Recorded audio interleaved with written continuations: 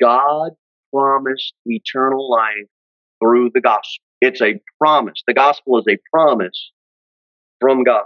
Not about rattling off facts. Christ Jesus came in the world to save sinners. Praise the Lord. We teach it and we preach it.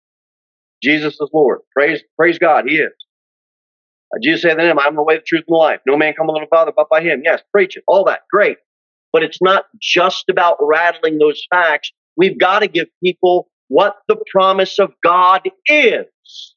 You can't leave them hanging with just facts. Give them what the promise of the gospel is. It's not just about declaring truth about Jesus.